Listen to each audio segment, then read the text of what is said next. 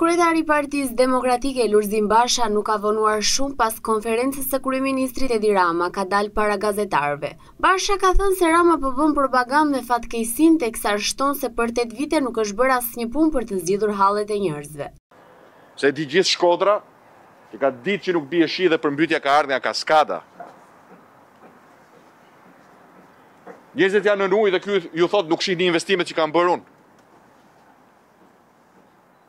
Njerëzit janë përmbytur dhe ky vazhdon t'ju vëjë fajin të tjerëve.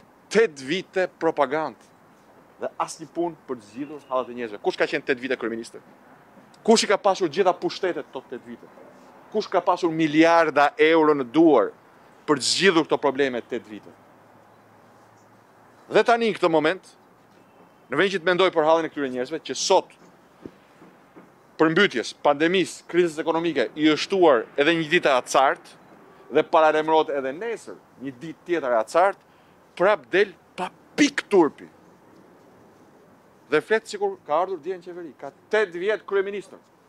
Kujt t'i kërkojnë llogari njerëzit? Kush e ka përgjegjësinë për këtë situatë?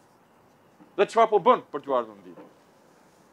Çfarë po bën për t'ju ardhur në ndihmë? Të gjithë janë ngritur në këmbë. Kushdo po mundohet të bëjë aq sa mundet.